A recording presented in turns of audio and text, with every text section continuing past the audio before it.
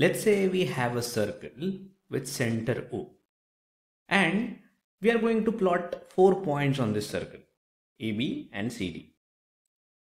Now we join points A and B and C and D to get two chords AB and CD. Remember we do not have any information available for the lengths of these two chords. But let's say it is given to us that the angle subtended by the chords AB and CD at center O are equal, which you can see in the yellow markings. Now from this given information, what we want to prove is that the lengths of the chords AB and CD are equal.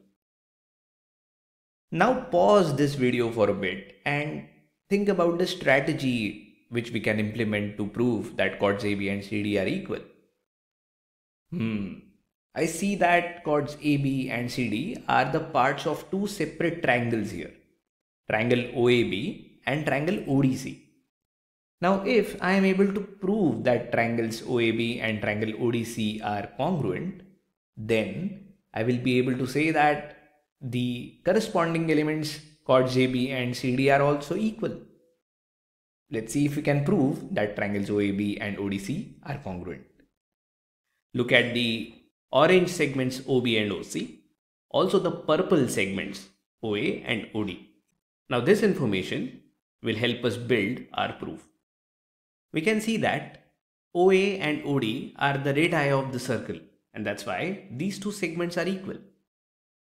Now to help our proof, we already know that angle AOB is given congruent with angle COD. Basically, these are the angles which these two chords AB and CD are subtending at the center. And now for the triangles that we see, another pair of segments are congruent. Segment BO is equal to segment CO.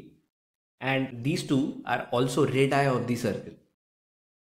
And we notice that for the triangles AOB and DOC, two corresponding pair of segments and the angle sandwiched between them are all congruent.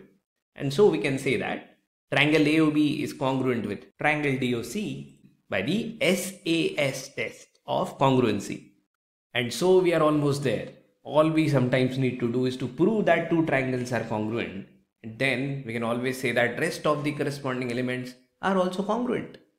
So what can we conclude? Yes, you guessed it right. We can conclude that the side AB is equal to side CD which is nothing but the two chords that we drew at the start.